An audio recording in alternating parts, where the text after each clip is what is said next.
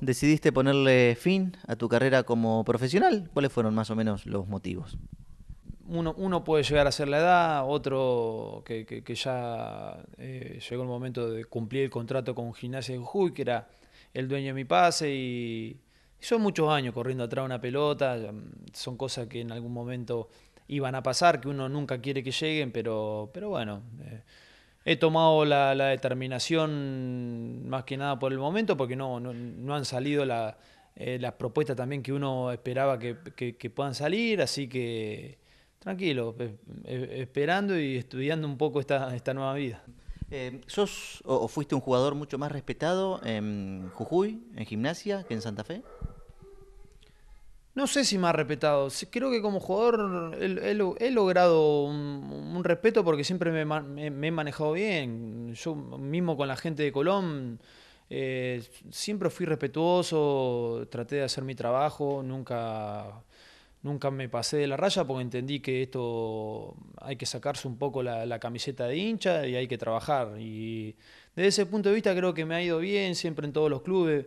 Obviamente que Jujuy pasé mi, mejor momento profesional futbolístico, eh, lo viví ahí, pero en Unión he, pasado tormentas muy importantes que también fueron, eh, fueron clave para mi carrera, eh, como, porque éramos todos chicos, eran momentos complicados en Unión, en Nacional B, cuando nos salvamos eh, de irnos a la B Metropolitana, con, con aquella camada de, de pibe cuando mete el gol el Memo Torre. Fueron todas cosas muy lindas que me pasaron acá en Unión, así que, así como te digo que en gimnasia me fue muy bien desde el punto de vista futbolístico, en, Unión he vivido cosas que me marcaron a fuego. Grita Nerio Fernández. Me tiro cerrado. Está el empate Venezuela.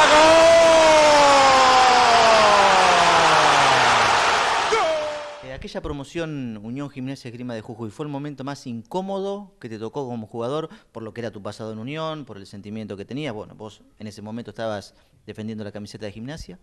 Sí, el más incómodo, pero por lejos. Eh, y lo vivimos con Nereo, juntos, en la concentración.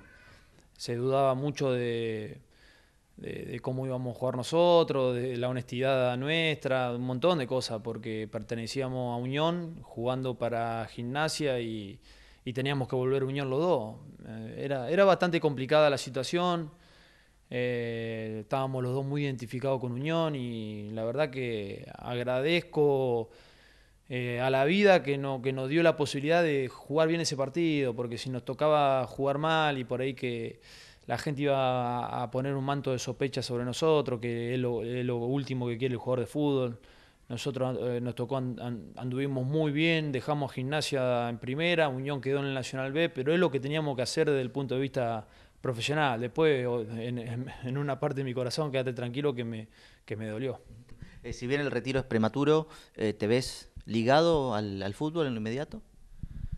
Eh, sí, ojalá, voy a hacer todo lo posible. Sé que es difícil, como te contaba que al principio no sabía si iba a llegar a jugar profesionalmente o no, hoy te digo lo mismo.